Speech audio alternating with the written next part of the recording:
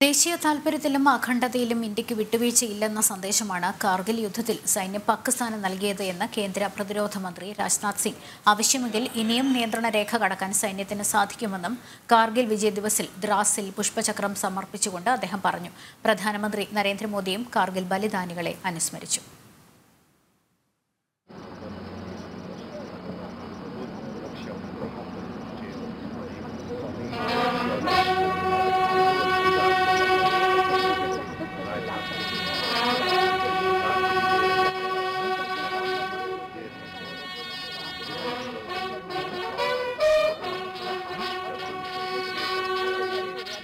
കാർഗിൽ വിജയ് ദിവസിൽ ദ്രാസിൽ യുദ്ധസ്മാരകത്തിൽ കേന്ദ്ര പ്രതിരോധ മന്ത്രി രാജ്നാഥ് സിംഗ് പുഷ്പചക്രം സമർപ്പിച്ചു. യുദ്ധത്തിൽ വീരമൃത്യു വരിച്ച സൈനികരുടെ കുടുംബാംഗങ്ങളുമായി കൂടിക്കാഴ്ച നടത്തിയ അദ്ദേഹം പിറന്ന നാടിനെ സംരക്ഷിക്കാൻ സൈനികർ കാണിച്ച ധീരത ചരിത്രത്തിൽ സുവർണ ലിപികളാൽ എഴുതപ്പെട്ടതാണെന്ന് വ്യക്തമാക്കി. പാകിസ്ഥാനുമായുള്ള പ്രശ്നങ്ങൾ ചർച്ചയിലൂടെ പരിഹരിക്കാനാണ് ഇന്ത്യ അന്ന് ശ്രമിച്ചതെങ്കിലും യുദ്ധം അനിവാര്യമാവുകയായിരുന്നു. ദേശീയ താൽപര്യത്തിലും അഖണ്ഡതയിലും ഇന്ത്യയ്ക്ക് വിട്ടുവീഴ്ചയില്ലെന്ന സന്ദേശമാണ് കാർഗിൽ യുദ്ധത്തിലൂടെ സൈന്യം പാകിസ്ഥാനും ലോകത്തിനും നൽകിയതെന്ന്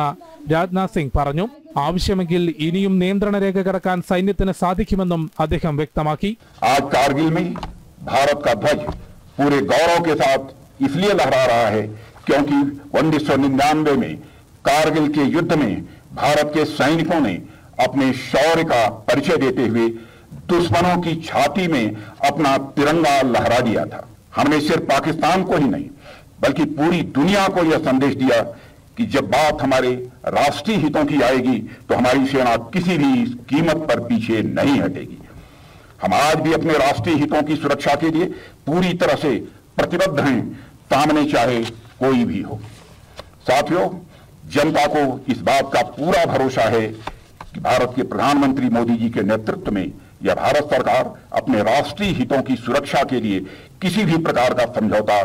किसी भी सूरत में नहीं करेगी കാർഗിലിൽ സൈനികരുടെ ത്യാഗം രാജ്യം ഒരിക്കലും മറക്കില്ലെന്ന് കരസേനാ മേധാവി ജനറൽ മനോജ് പാണ്ഡെ വ്യക്തമാക്കി യുദ്ധത്തിൽ ജീവൻ നൽകിയ ധീരന്മാരെ പ്രധാനമന്ത്രി നരേന്ദ്രമോദിയും അനുസ്മരിച്ചു കാർഗിൽ പോരാട്ട വീര്യത്തെ ചേർത്ത് പിടിച്ച് രാജ്യം മുൻപോട്ടു പോകുമെന്നും വിജയ് ദിവസ് രാജ്യത്തിനെന്നും പ്രേരണാ ശക്തിയാണെന്നും അദ്ദേഹം ട്വീറ്റ് ചെയ്തു